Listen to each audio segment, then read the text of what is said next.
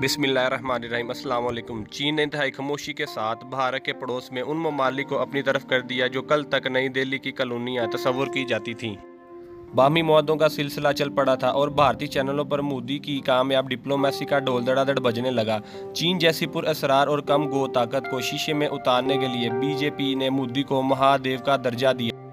मुलाकात के कई रोज बाद ये इंकशाफ हुआ कि जब मोदी शी जिनपिंग के साथ पिंगे बढ़ा रहे थे, चीनी फौज दरअंदाजी करके भारत के जेर इंतज़ाम लद्दाख के चूमार और दमचोक खितों में खेमाजन हो गई थी। मजीद डिस्कस करने से पहले वीडियो को लाइक करें, राइट इन्फो टीवी को सब्सक्राइब करें और बेल आइकन पर ज़रूर क्लिक करें। मोदी ने फ़ोन घुमाया और सदर शी को याद दिलाया कि अभी दोस्ती और तावन के मौदों की स्याही भी गीली नहीं हुई तो चीन काम ने फ़ौज को वापस बुलाया। इस पर भी मोदी की आलमी मकबूलियत का डंका बजाया गया। छः साल बाद आज मोदी जी इससे ज़्यादा खतरनाक सूरत हाल का सामना कर रहे हैं। आज चीन मशरकी लद्दाख के सरहदी इलाकों में कई किलोमीटर अंदर घुस आया है और वापस जाने का नाम नहीं ले रहा, बल्कि अब तो बीजिंग पूरी वादी गलवान पर दावा जुतला रहा है।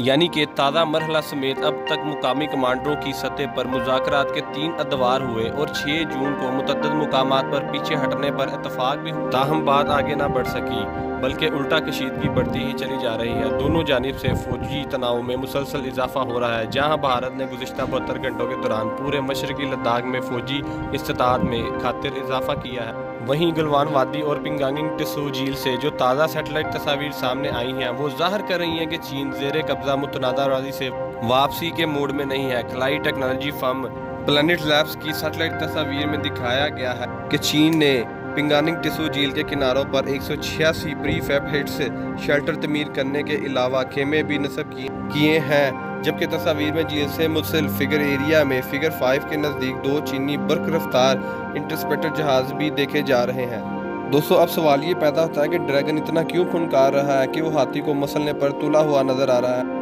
मुबसरीन के नज़दीक इसकी कई वजूहत हैं, जिनमें से कुछ खालिसन मुकामी नोयत की हैं, जबकि कुछ का तल्लक चीन के इलाकई स्ट्रेटजिक और इकतसादी हदायत पर है। मुबसरीन का ख्याल है कि चीन की निगाहें कहीं पर हैं, जबकि निशाना कहीं पर है, और वो बैक वक्त एक तीर से कई शिकार करना चाहता है।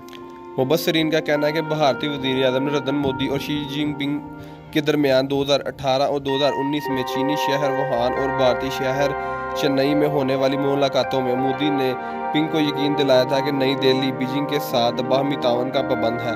ताहम लद्दाख के सरहदी सेक्टर में भारत जिस तरह दफाई तनसीबात की तमीर में लगा हुआ था, उसने ड्रैगन को गहरी नींद से बेदार कर दिया।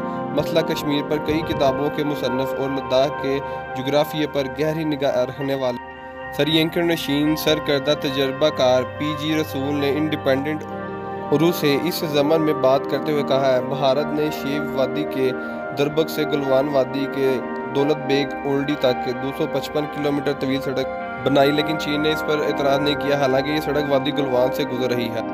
दोस्तों, हम आपको बताते चलें कि भारत ने अपना इलाका लद्दाख वापस लेने के लिए चाइना को यहाँ तक धमकियाँ दी हैं कि हम चाइना में घुसेंगे और घुसकर वहाँ पर वुहान सिटी पर कब्जा करेंगे और तुम लोगों के फौजी हम चुन चुन कर मारेंगे। और यहाँ तक भारत धमकियाँ दे चुका है कि हम लोग तुम लोगों के फौजी और यहाँ पर रहने वालों को किसी को ज़िंदा नहीं छोड़ेंगे।